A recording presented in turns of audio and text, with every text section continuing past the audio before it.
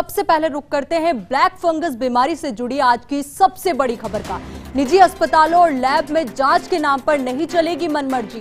चिकित्सा विभाग ने मरीजों की दिक्कतों को देखते हुए तय किए दाम एमआईआई, CT scan D dimer ESR antibody समेत सभी महत्वपूर्ण जाँच के तय किए गए दाम। विभिन्न तरह की एमआरआई के दो हज़ार पाँच सौ रूपए से लेकर अधिकतम चार हज़ार सौ रूपए तय किए अधिकतम दाम। प्रमुख चिकित्सा सचिव अखिल अरोड़ा ने जारी किया आदेश।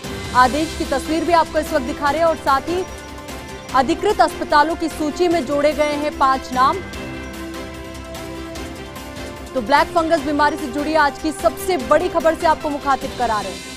आपको बता दें कि अधिकतम दाम जो है वो तय कर दिए गए हैं कई जांचों के और साथ ही इससे एक बहुत बड़ा अंकुश लगेगा। अस्पतालों की मनमर्जी पर जो निजी अस्पताल अपनी मनमर्जी के चलते मन वसूले दाम वसूल कर रहे हैं तो ऐसे में मनमाने दामों पर, वसूली पर भी एक बड़ी रोक यहाँ पर। और इसी खबर पर ज़्यादा जानकारी के साथ हमारे सहयोगी विकास हमारे साथ जुड़ चुके हैं। तो विकास, देखिए, आदेश जारी कर दिए गए हैं तो आदेश कब से लागू होंगे?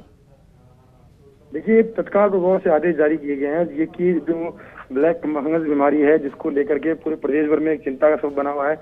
और उसमें सबसे बड़ी चिंता वाली बात ये थी कि जो ओपीडी के मरीज़ हैं वो मरीज़ जो है अपने आप को ठगा सा महसूस कर रहे थे, क्योंकि एमआरआई जैसी जाँच के लिए उनको अट्ठाईस अट्ठाईस हज़ार रुपए तक देने पड़ रहे थे। तो इस पे सरकार ने बड़ा प्रसंज्ञान लिया है। एमआरआई समेत विभिन्न तरह की जांचें जो कि ब्लैक फंगस की ट्रीटमेंट के लिए ज़रूरी है, उन तमाम जांचों की जो दरें हैं, वो सरकार ने निर्धारित कर दी है। इस, इन दरों के ऊपर कोई भी अधिक विस्तार जो वो नहीं ले पाएगा। हम बात करें एमआरआई की तो एमआरआई की जो विभिन्न एमआरआई है उनकी दरें जो है पच्चीस सौ रुपए से लेकर इकतालीस सौ रुपए तक अलग अलग सेगमेंट की जो एमआरआई है, उनकी दरें तय की गई है। इसके अलावा और जो जांचें हैं, जिसमें कि सिटी स्कैन है डी डाइमर है ई एस आर है एंटीबॉडी समेत जो अन्य विभिन्न तरह की जांचें हैं, उनके दाम भी फिक्स कर दिए गए हैं। यानी कि अधिकतम दाम भी फिक्स किए गए हैं। इससे ऊपर दाम जो है, कोई भी लाभ जो है वो नहीं ले पाएगी। जी। जी, विकास बहुत बहुत शुक्रिया आपका हमारे साथ जुड़ने के लिए और पूरी बातचीत के लिए। तो बहुत बड़ा अंकुश लगेगा उन सभी निजी अस्पतालों पर जो अपने मनमाने दाम वसूलते हैं।